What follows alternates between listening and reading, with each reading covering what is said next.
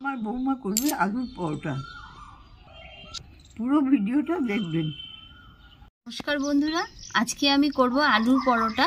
তার জন্য আমি চারটে আলু সেদ্ধ করে নিয়েছি। সেদ্ধ করে দেখুন, ভালো করে মেখে রেখেছি। মশলা নিয়ে নিয়েছি জিরে ভাজা।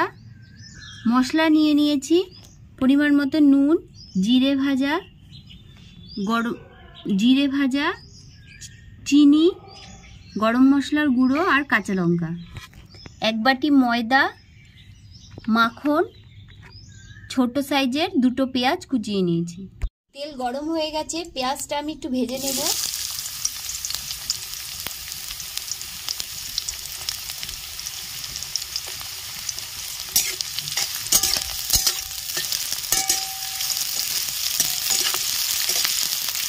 লাল করে ভেজে নেব।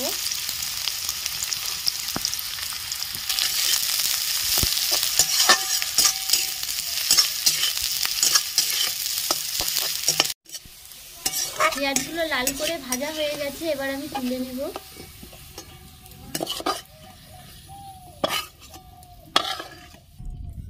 জিরে ভাজা দিয়ে দিচ্ছি, নুন দিয়ে দিচ্ছি, চিনি দিয়ে দিচ্ছি, গরম মশলার গুঁড়ো দিয়ে দিচ্ছি, কাঁচা লঙ্কা কুচি দিয়ে দিচ্ছি, পেঁয়াজ কুচি দিয়ে দিচ্ছি। ভালো করে সব মেখে নেব।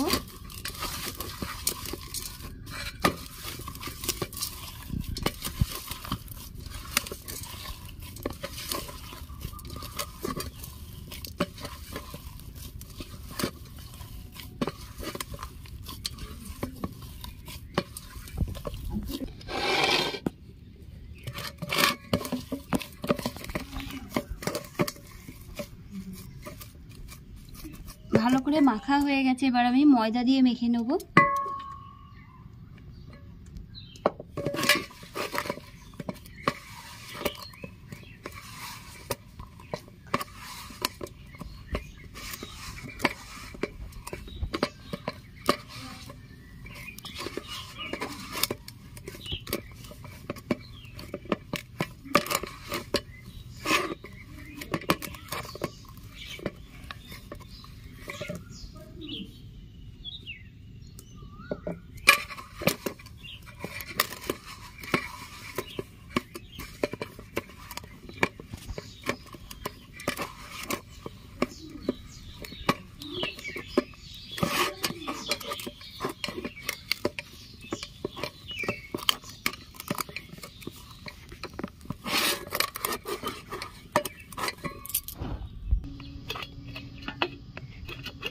আমি কিন্তু এর মধ্যে কোনো জল দিইনি।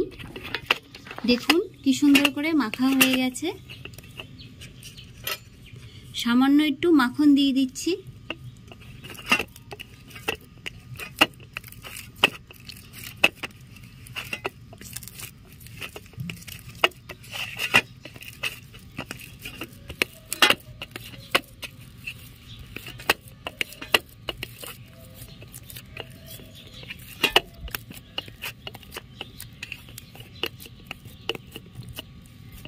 আমি দশ মিনিটের জন্য ঢেকে রেখে দেবো। দশ মিনিট হয়ে গেছে, এবার আমি লেচি কেটে নেব।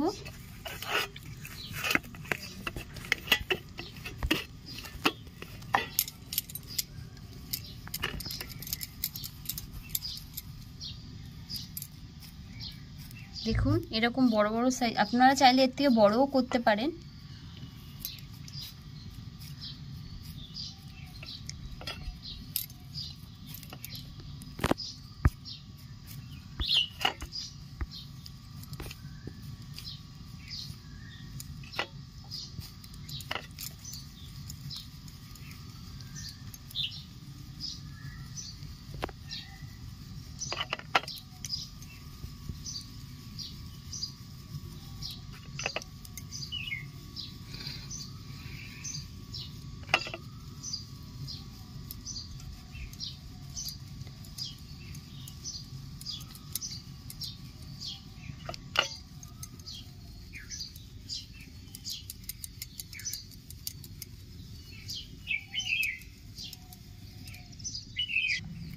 সামান্য একটু ময়দার গুঁড়ো নিয়ে নিচ্ছি। এবার আমি বেলে নেব।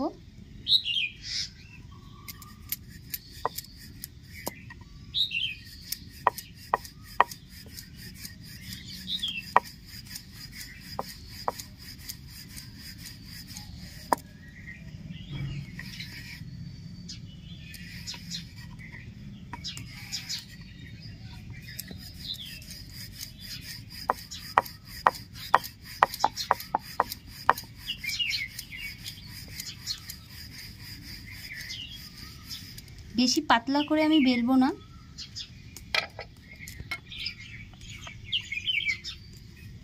আবার একইভাবে সব বেলে নেব।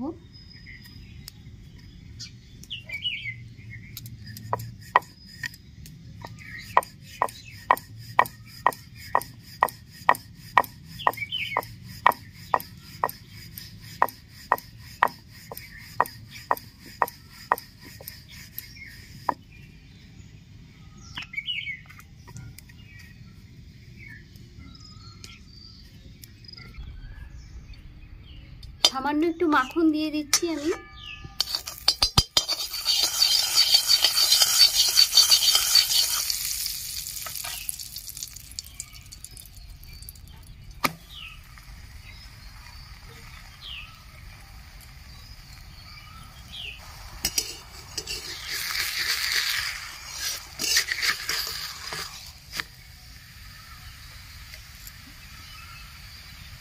একটু লাল লাল করে ভেজে নেব। আর একটু মাখন দিয়ে দিচ্ছি আমি।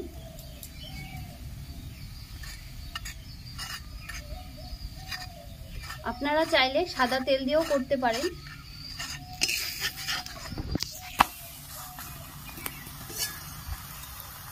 তবে মাখন দিয়ে করলে জিনিসটা খেতে বেশি ভালো লাগে।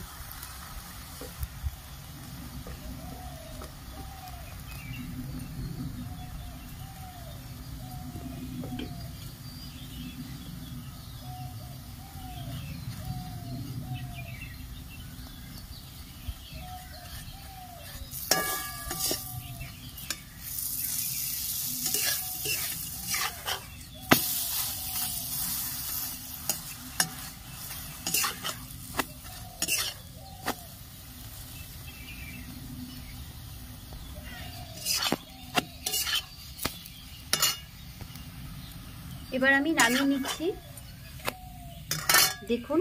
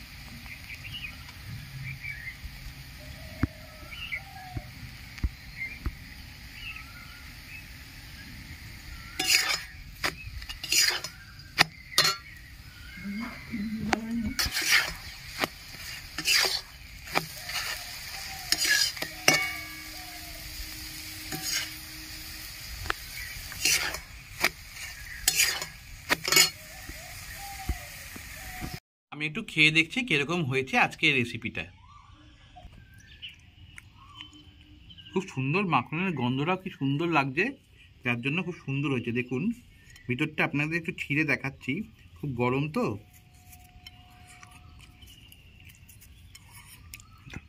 ভিতরটা কি সুন্দর হয়েছে, এই দেখুন আপনাদের দেখাই। দেখেছেন, ভিতরটা কি সুন্দরভাবে হয়েছে, এবং তার সঙ্গে মাখনের সুগন্ধ এত সুন্দর লাগছে যে কি বলব? দেখুন, আপনাদের সামনে আমি একটু খাচ্ছি, আর খুব নরমও হয়েছে।